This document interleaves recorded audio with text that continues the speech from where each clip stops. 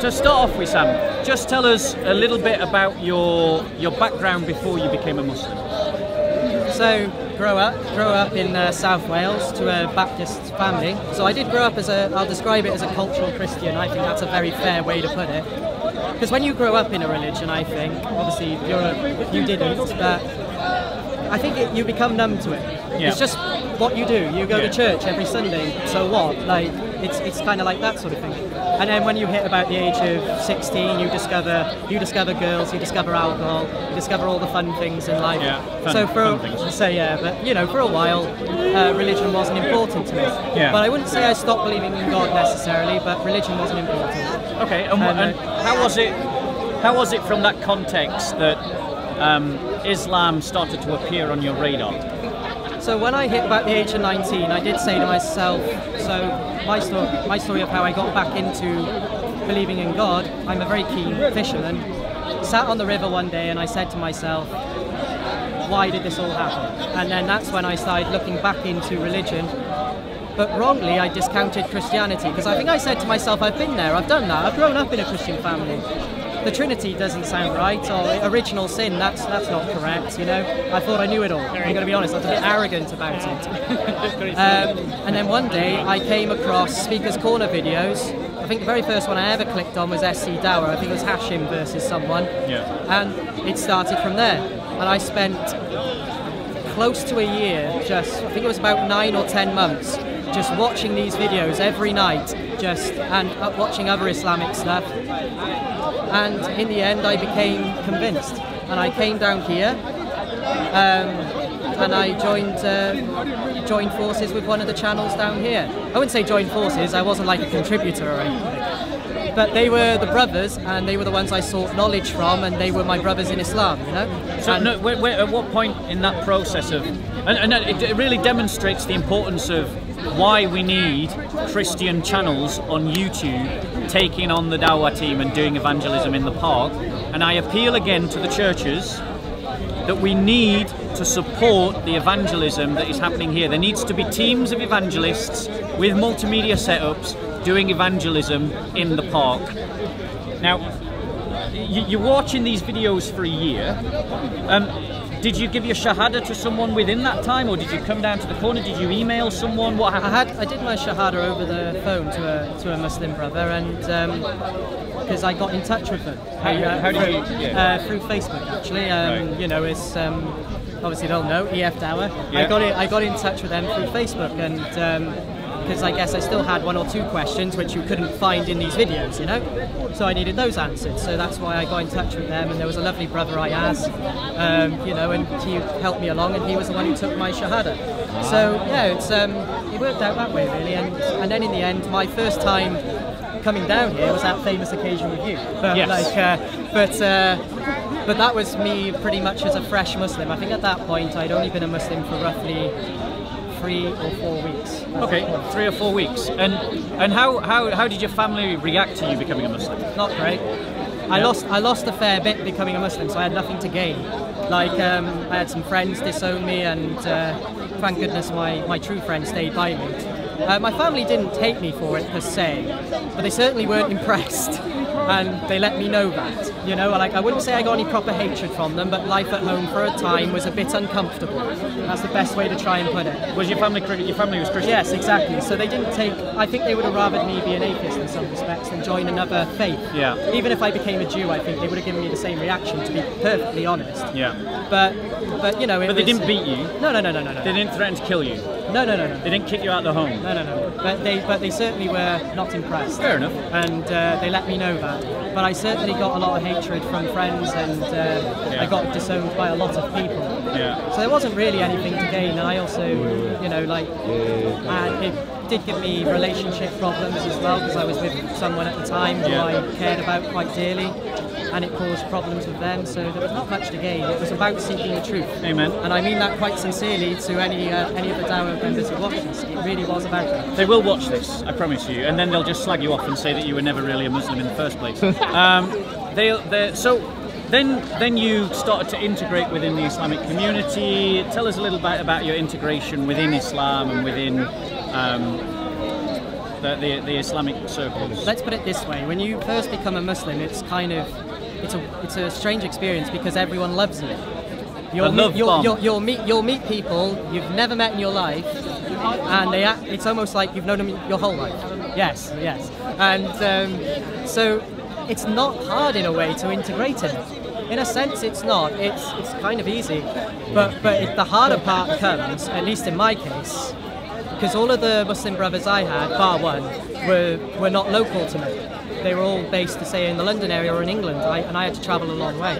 So it was Islam was a bit harder when you're in on your own with your own thoughts. Yeah. That was when it could be quite difficult. Yeah. But something that did help me was oh, either coming here or going to a mosque in Cardiff, which I did at the time quite enjoy. I won't deny that.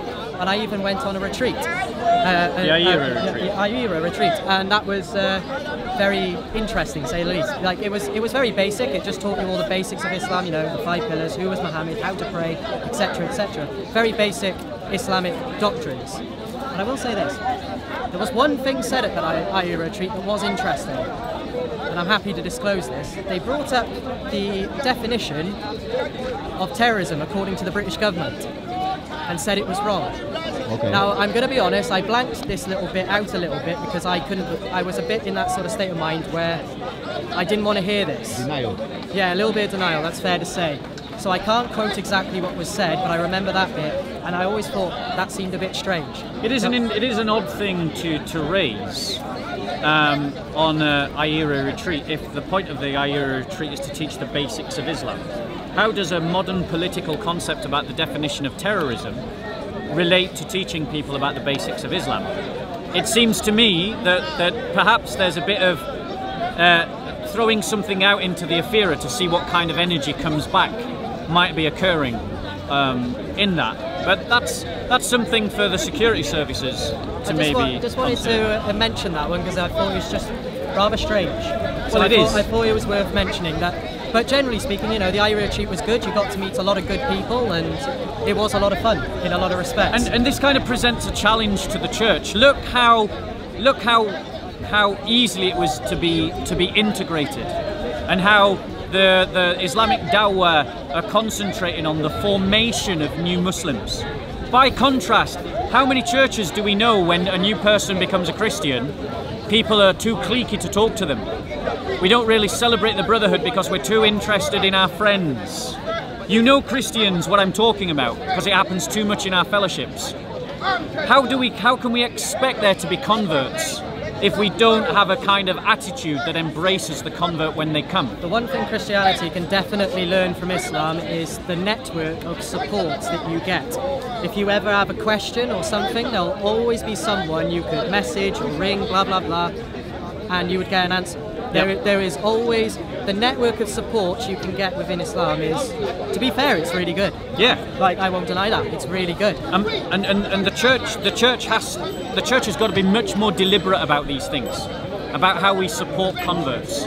Because unless we have a much more deliberate attitude to helping and building up and, and forming converts, we, we, we won't hold on to the converts we make. And that is exactly what is happening in the church. Now, Sam, you talked about your integration, you talked about the fact that you, you went to the mosque in Cardiff, that you were making Muslim friends, that you were going on a retreat teaching you about the basics of Islam. Um, what was it that started? Because you, you, how, how long you were uh, a Muslim for about two and a half years. About, about two and a half years, maybe slightly shy, but roughly that time. What was it that started to cause you to doubt? The very first thing, and I don't think I might be the only mus- ex-Muslim who will ever say this, was that de- famous debate between Mohammed Hijab and David Wood. Thank you, Mohammed Hijab. Checks in the post. That was the first doubt anyway. Let's put it this way. We all know what, what caused a lot of uh, Muslims to doubt. They don't need to get into that. But at the time, I guess I looked at it like this. I'm not the sort of person to run at the first sign of trouble. So I, so, I stood back and I thought to myself, maybe an answer will come up for this at some point. But none ever did, so it just lingered there. And then eventually there were questions about the preservation of the Quran cropping up, and that started to affect me as well. Well Before- done, Hatun. yeah, Hatun, yeah, yeah. yeah, shout out Hatun. But like, um, and Jay Smith. And Jay Smith. but and basically, I look at one thing that's at the end of the day with Islam, the Quran is such an important tenet. if that collapses, it's like it's like the house of cards. The whole thing collapses. And for me personally, because the Quran makes a claim that it is the unchanged word of God. That's a very, very, very strong claim to make. And that's what you were told when you Yes. became a Muslim. Yes. Ah, you were told that? Ah, Yes. Yeah. Like, and to be fair, we're going back far enough when they were still making that claim. To be fair. Yeah. But but anyways, the point is is that when that house of cards comes down, the rest of it comes down because um, like uh, the Muslim brothers, ex-Muslim brothers anyway, who know me will know that I was never too keen on the hadiths anyway, but the Quran was always very important to me. And when that started to go for me, that's it. Why, why weren't you keen on the hadiths? What was it about the hadiths? Reliability. Yes. That was the main thing because it felt like it was just a massive game of Chinese whispers. Yeah. Literally, like that, that's what it came across as. Like I don't care how how much this person's reliable, and etc., etc.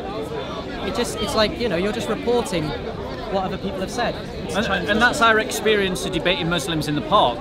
They literally tell us, well, you've got to see if the hadith is sahih. Um, and Christians base virtually all of their arguments on sahih hadiths. And then whenever the Muslims find that those hadiths are inconvenient, they just chuck them under the bus. Yeah, and it's like, we said to them, but it's sahih. What does sahih mean? And then they go, it means reliable. So is it reliable? No. and, and this is something we find, it's sifting sand. To clarify, I was Sunni and I did accept the hadiths because there are things in there about how to pray, how to fast, etc., etc. So I'm not going to say I denied them, but definitely They were, not- uh, they were a shaky ground for me always. Yeah. So in the end, I think I reached a stage where I just decided not to engage with them and I engaged with the Quran more. But it didn't mean I rejected the hadiths altogether. And what was it that led you to finally reject Islam? In a way, I think in my own way, I had sort of rejected it for a while, but I needed the bravery to do it. I was scared. I'm not going to deny that. I was scared. So, and if you like, I ended up ca- contacting yourself and JC, and thanks to JC for rooting me out. I was Not gonna- funny, JC. I need to check with your counsellors before you do things. Yeah, yeah, yeah. But but when he ra- when he did root me out, I thought I might as well own this. Yeah. That was my attitude. Uh, Before that, I was just going to ch- try and slip quietly into Out. the background. Yeah. But I thought, being as I got outed. I'm going to own this now. But also, I guess in the process, I started to just re-look at the case for Christianity. Now, anyone who remembers, I had a go at Bob. I wasn't keen on him. I'm not going to use the exact word I would use to uh, what I thought of him, but you know, Yeah. I was not keen on him. But one day, when I, during the time I was having my doubts, there was a video of his that popped up on SOCO, and I just said, I'm going to watch it, but I'm not going to listen to him. I'm going to listen to what he says.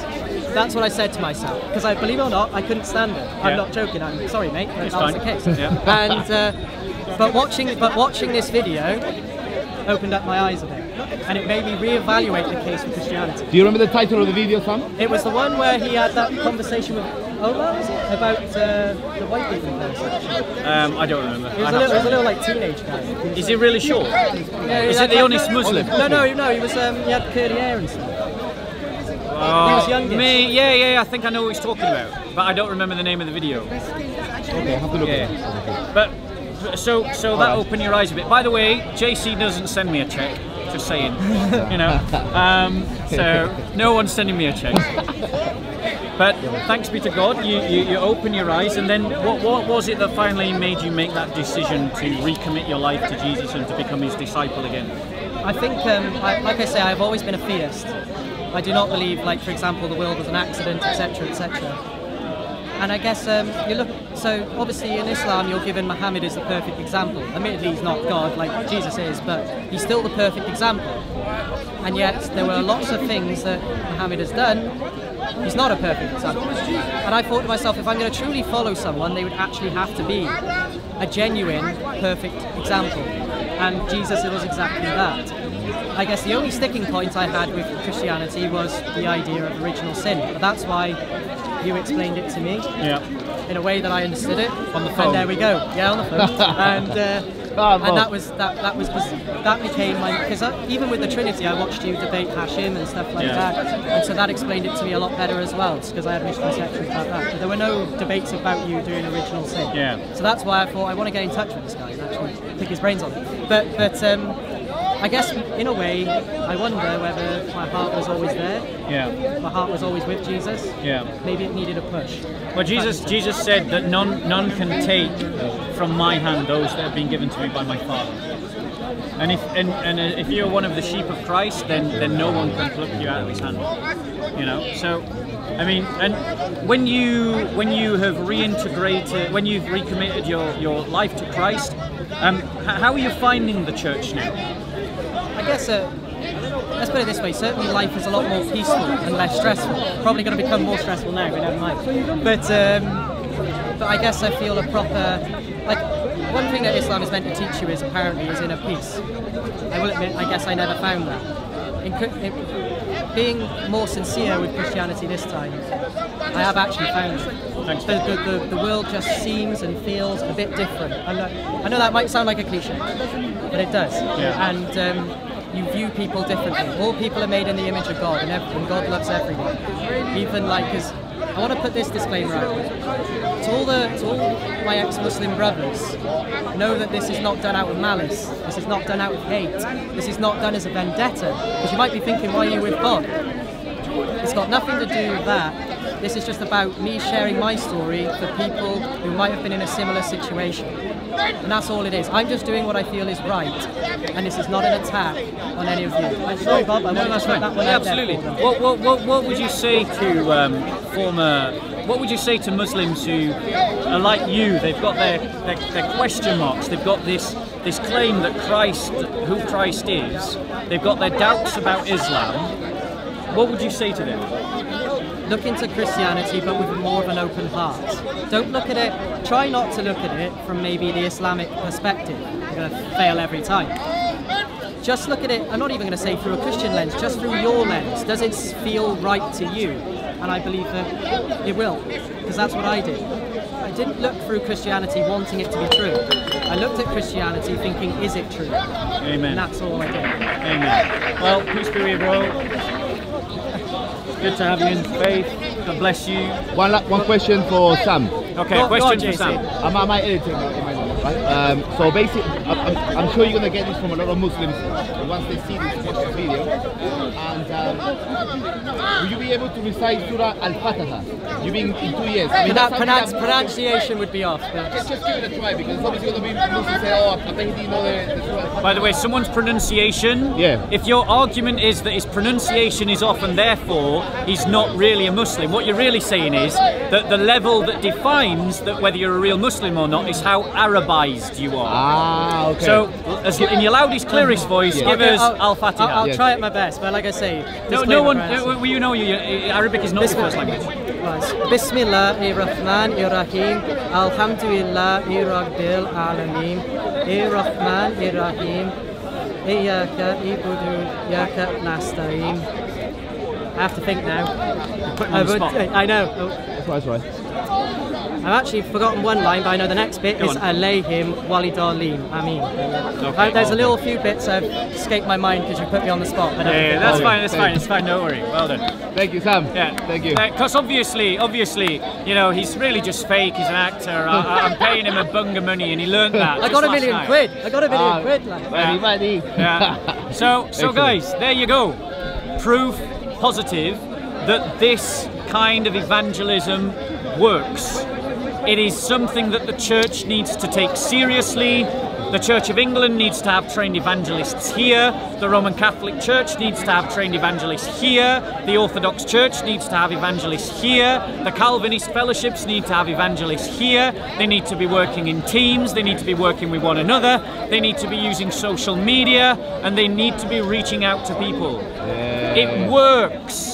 The reason why there aren't more converts from Islam like Sam Yeah. is because there aren't more evangelists like Bob. You know, if there I, more hate, I hated him, by the way. okay, okay, sick. Okay, yeah. evangelists, there will be. If there are more evangelists, Yeah. there will be more converts. Yeah. So the church needs to get back into evangelism seriously. And Muslims, Yeah. you can deny as much as you like the idea that there are Muslims leaving Islam. The fact is, we know they are. and I hope you continue to deny it. Because Yeah. whilst ever you're denying it, it just makes our job easier. Thank you, Shamsi. Thank you, Mohammed Hijab. Thank you, Mohammed Hijab. yeah, yeah. Anyway, Bye, peace be, bro. He's